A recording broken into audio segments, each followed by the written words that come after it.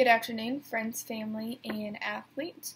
I would like to welcome you to this year's Baton Twirling Association banquet.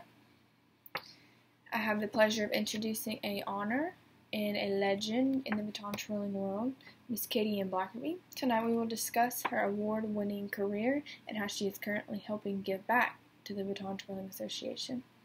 While attending Thompson High School, Katie was a majorette and was a part of our color guard team. She competed on the field and off the field. She was also part of studio teams in senior and elite. Katie also competed in solos. She won dozens of state titles as well as international titles while on her teams. Katie spent her time in high school practicing 15 hours a week, which is how she's won so many awards. She was given awards by Board of Education members, her peers, and coaches. Currently, Katie spends her time giving back by working at the Shelby Stark Baton Studio she is a teacher, teaches classes and teams, as well as choreographer. She currently gives private lessons and mentors kids of all ages. Katie has decided that she will attend Troy University and will audition to become a majorette.